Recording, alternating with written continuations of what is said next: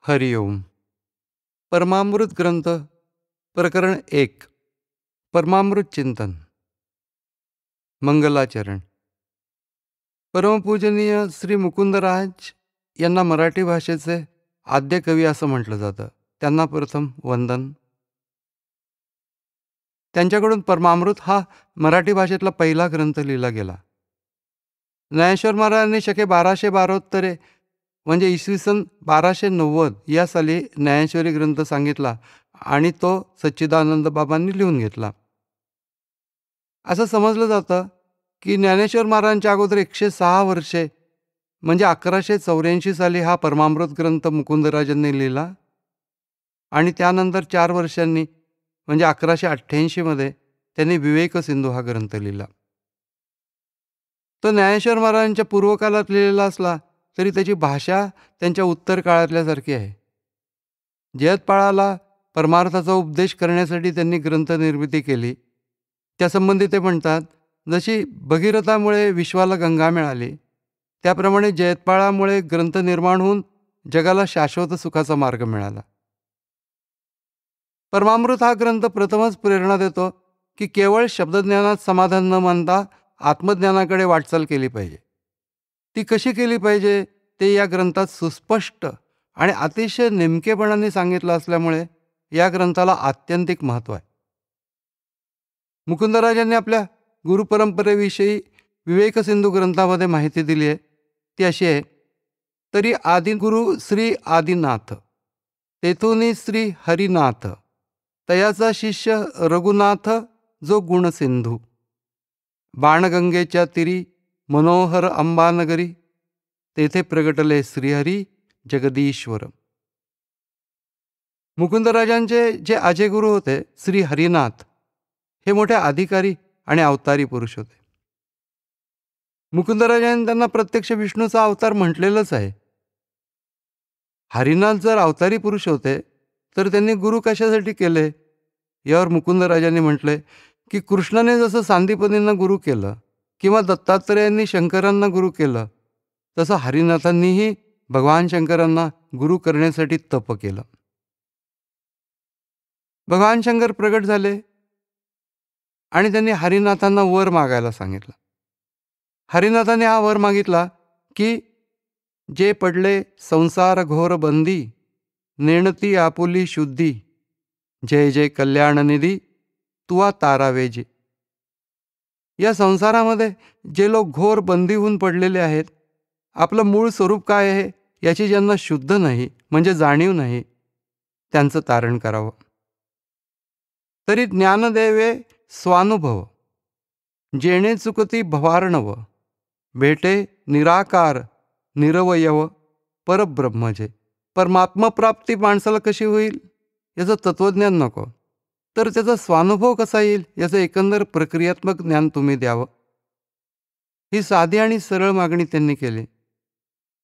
भगवान शंकरांनी हास्य केलं आणि ते म्हणाले ही मागणी तुझ्याकडूनच पूर्ण होईल असं तुला वर देतो. तुझा संप्रदाय निर्माण होईल. त्याच्यामध्ये ज्ञानाचं कधीही साकडं पडणार नाही. त्यात सतत ज्ञानप्रधानता राहील आणि तुझ्या वचनावरती जे विश्वास ठेवतील अर्थातच योग प्रक्रियेद्वारा आत्मज्ञानाच्या दिशेने साधना करतील त्यांना मुक्ती प्राप्त होईल. हे माझं ज्ञान तुझ्या शरीरात शिरून तुझ्या मुखाद्वारे तुझ्या शिष्यांना प्राप्त होईल. जणू शिवशक्ती त्यांच्यात प्रवेशली आणि ते प्रगाढ समाधीत गेले. बावीस दिवसांनी ती समाधी उतरली आणि ते सावध झाले. तेव्हापासून ते सहसा देहभावावर नसलेले निजानंदात निमग्न असलेले योगज्ञानी या स्थितीत होते. हरिनाथांनी काही शिष्य संप्रदाय निर्माण केला ज्या शिष्यांवर अनुग्रह केला त्यांच्यामध्ये सुरेंद्र भारती प्रमुख होते. त्याशिवाय त्यांचे आणखी पुष्कळ शिष्य होते. त्यातल्या रामचंद्र नावाच्या शिष्यावर त्यांच्या अनुग्रहाचा विशेष परिणाम झाला. हरिनाथांनी त्यांना उपदेश देताना जी समाधी लागली ती अठरा दिवसांनी उतरली. हे रामचंद्र म्हणजेच मुकुंदराजांचे गुरु रघुनाथ. हे रघुनाथ आणि हरिनाथ या दोघांचीही समाधी नागपूरजवळ अंबोरा नावाच्या क्षेत्री आहे. त्या ठिकाणी पाच नद्यांचा संगम आहे. ते भगवान शंकरांचं स्थान आहे आणि अति सुंदर आहे. मुकुंदराजांची समाधी नागपूरजवळ मध्य प्रदेशातल्या बैतूल गावी आहे. तिथं त्यांचे सद्गुरू रघुनाथ यांनी एक घळ खोदून घेतली होती. पुढे त्या घळीत बसून विवेक सिंधू या ग्रंथाचं विवरण करावं म्हणून समर्थ रामदास स्वामी तिथे राहिले होते. इतका तो ग्रंथ त्यांना विलक्षण आवडला होता.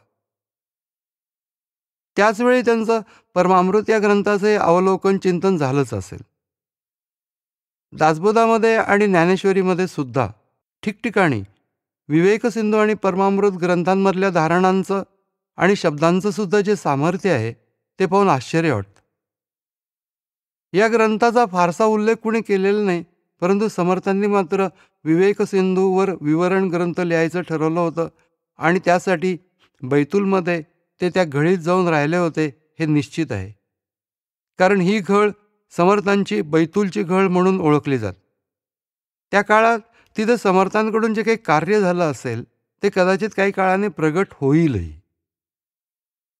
मुकुंदराज हे शांकर मताचे म्हणजे शंकराचार्यांच्या मताचे अद्वैती होते. जरी ते अद्वैत वेदांती असले तरी सगुण उपासनेच्या बाबतीमध्ये त्यांचं मत होतं की चित्त आलंबने विणं जरी न राहे स्थिरपण तरी देवाचे सगुण स्वरूप चिंतावे. निर्गुण उपासना सगुणासहित करावी अशीच त्यांची भूमिका होती ही सगळ्याच संतांची भूमिका आहे. परमामृत या ग्रंथाचं वैशिष्ट्य म्हणजे हे अध्यात्मपर अनुभूतीशास्त्र आहे. त्या तत्वज्ञानाशी संबंधित जे जे शब्द येतात त्यांचं अतिशय सुंदर विवरण केलं आहे त्या अवस्था प्राप्त कशा होतील याचं विवरण केलेलं आहे. आत्मसाक्षात्कार रिअलायझेशन ऑफ सेल्फ या विषयाला पूर्णपणे वाहिलेला म्हणून हा अनन्यसाधारण महत्त्व असलेला ग्रंथ आहे. हरिओम.